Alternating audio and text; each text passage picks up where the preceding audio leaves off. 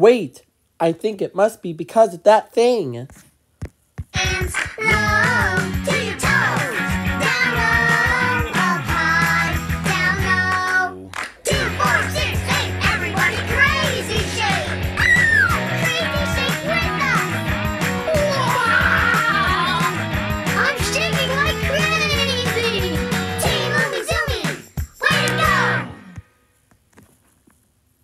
Or maybe it's that thing.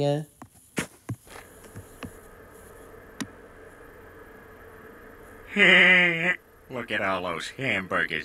You can't eat all those hamburgers, you stupid fella. Oh, jeez!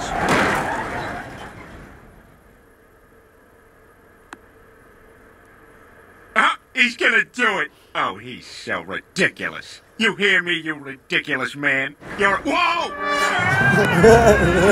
Tina, what the hell is wrong with you? I fall asleep for 10 minutes and you plow the car into a tree?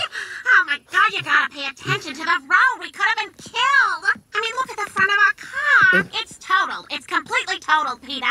Oh, this is just terrific. How are we gonna get. Oh my god. I knew I should have driven. I should always drive. I cannot trust you, Peter Griffin.